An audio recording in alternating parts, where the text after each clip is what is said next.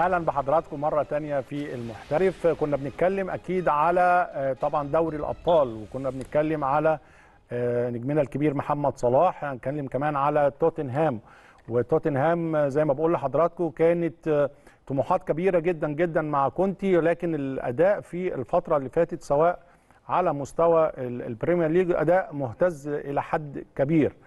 معانا عبر سكايب طبعا آه، رامون فيجا طبعا اللاعب السابق لفريق آه، طبعا آه، توتنهام وجراس هوبر السويسري وكمان لاعب المنتخب السويسري سابقا رامون بنرحب بيك على شاشة قناة النادي الأهلي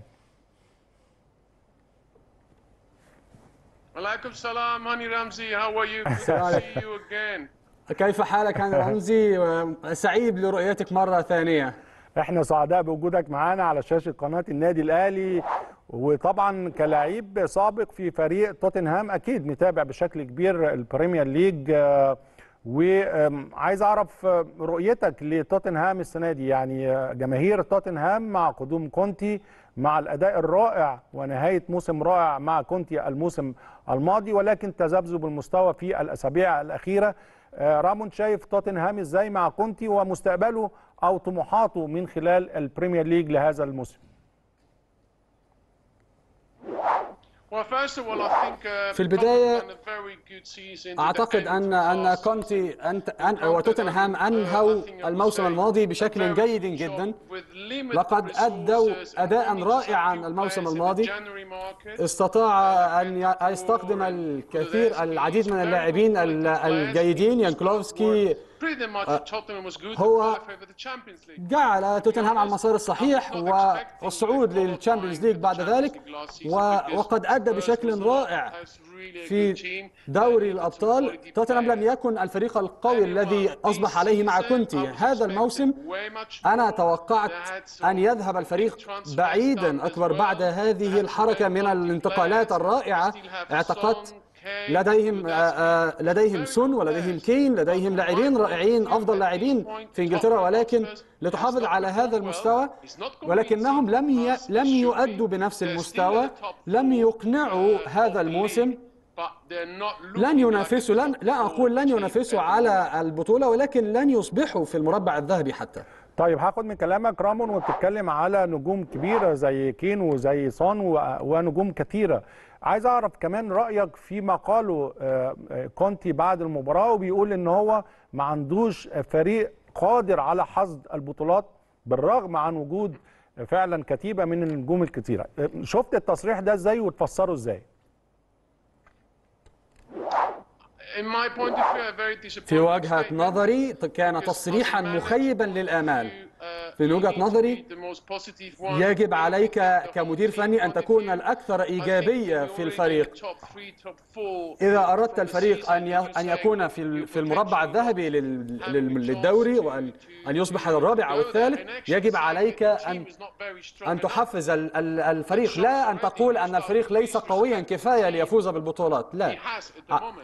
الفريق الآن لديه المقومات بالفعل. الفريق الآن آه، بالنسبة لتصريحات كونتي يجب عليه أن يراجعها. لديه أفضل مهاجم في تاريخ النادي هاري كين لديه سون هو لا إنما الامر إنما الأمر أن كونتي لا يطبق ال- الخطط الفنية المناسبة لهذا الفريق. الأمر الآن يجب عليه الآن ان يقوم بأفضل ما لديه. لا أعتقد أن الفريق يؤدي بشكل جيد. الفريق يبدو بشكل مهتز. وهذا الامر هذا الأمر يقع على عاتق المدير الفني. من السهل أن نقول أن الفريق ليس على المستوى الإيجابي المناسب ولكن الفريق الآن أنا أنا عملت مع أنا عملت مع في من قبل في إيطاليا وأعرف كيف العمل في إيطاليا. الفريق ال- ال- ال- المدرب الإيطالي يعتمد أكثر على اللاعب ولكن هذا لا يحدث في إنجلترا. يجب على المدرب أن يكون الف... يجب عليه أن يكون لديه فريق را... لديه فريق جيد ولكن يجب عليك أن تكون مدربا جيد لتناسب هذا الفريق. طيب أحمد برضو خش معانا في النقاش. آه، من نقطة التصريحات دي بعض المديرين الفنيين بيقولوا تصريحات لرفع الضغط عن اللاعبين ورفع الضغط عن الإدارة وتهدئة الجماهير.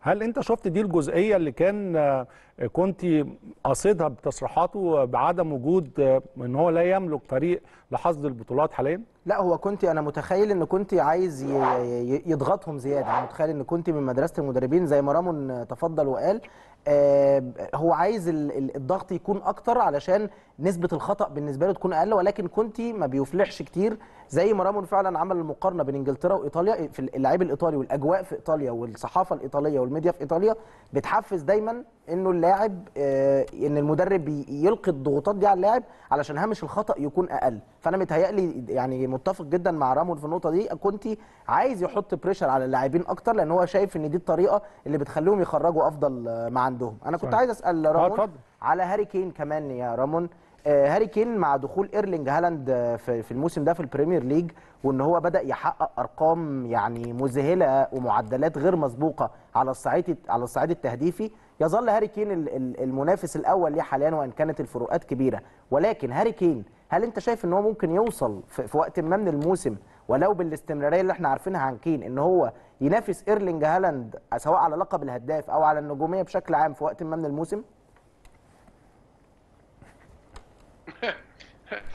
حسنا. هذا سؤال جيد إذا تحدثنا uh, it's تحدثنا عن إيرلينج هالاند. هو أتى. من كوكب آخر. لأكون صادقا معكم لا يوجد لاعب أتى إلى البريمير ليج بهذا السن الشاب والقلة آه، وقلة الخبرة كما فعل مانشستر سيتي واستخدم إيرلينج هالاند إنه يحرز يحرز الهاتريك بطريقة سهلة. هو هو إذا ك- إذا كنت لاعبا سيكون هذا مصدر إزعاج لي. بالطبع هاري كين هاري كين يجب عليه أن يلتزم يلتزم ويكون لديه ل- ليحرز ليحرز من 20 ل 30 جول هذا هذا الموسم. نعم هالاند هالاند صعب أن تنافسه. هو يؤدي أداء رائعا. لديه لديه فريق رائع يساعده على ذلك. ولديه ال- الكثير من الحصيلة التهديفية. ولكن هاري كين يجب عليه إذا كان مستعدا أن يؤدي بأداء أفضل. نعم هذا الموسم وليس فقط هذا الموسم وإنما في المواسم المقبلة. أعتقد ليس لدي شك أن هاري كين سيكون في قمة الهدافين وينافس إل... لن يفعل ما فعله إيرلينغ هالاند هذا الموسم ولكن سينافس إيرلينغ هالاند بالطبع. هخش معاكم في المناقشة ولازم أدخل نجمنا الكبير محمد صلاح لأن محمد صلاح كمان من هدافي البريمير ليج السنوات اللي فاتت يا رامون وكان السنة اللي عامل أو الموسم اللي فات مناصفة مع سون. عايز أعرف كمان رؤيتك لمحمد صلاح من خلال كمان وجود هالاند في البريمير ليج وأعرف منك ما سبب تدهور أداء ليفربول في آه، موسم أعتقد إن هو الأسوأ في تاريخ ليفربول في بداية البريمير ليج مع طبعا كان في أمال كثيرة لجماهير ليفربول للمنافسة مرة تانية مع المان سيتي. شايف ده إزاي؟ محمد صلاح أمام هالاند وشايف آه، يورجن كلوب مع ليفربول هذا الموسم. أعتقد أن محمد صلاح محمد صلاح هو الملك في مصر. آه، هو من أفضل اللاعبين في العالم.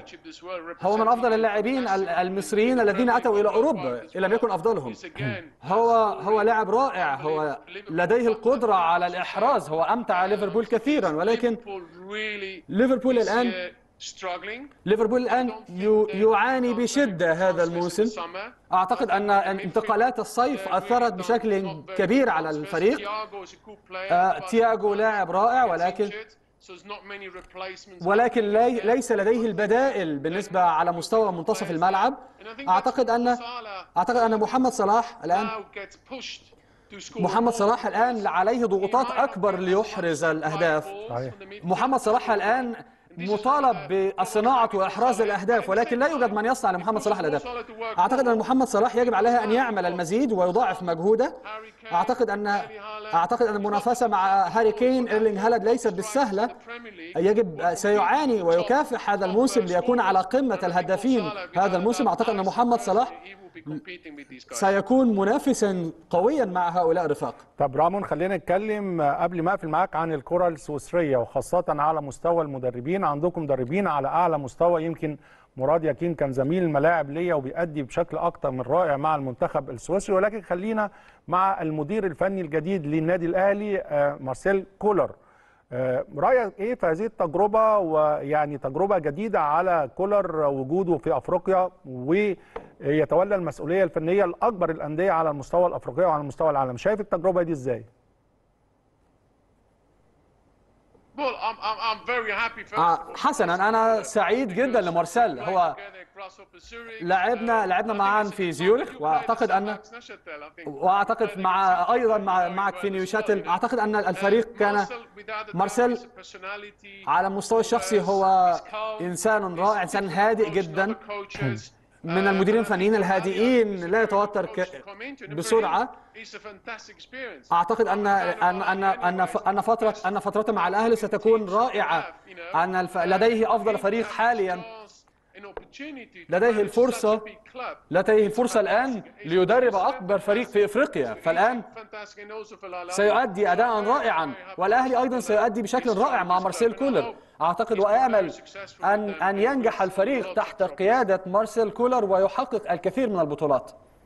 رامون فيجا اللاعب السابق لتوتنهام والمنتخب السويسري. بنشكرك شكرا جزيلا على تواجدك معنا في المحترف على شاشة قناة النادي الأهلي. شكرا جزيلا. schon Abend noch.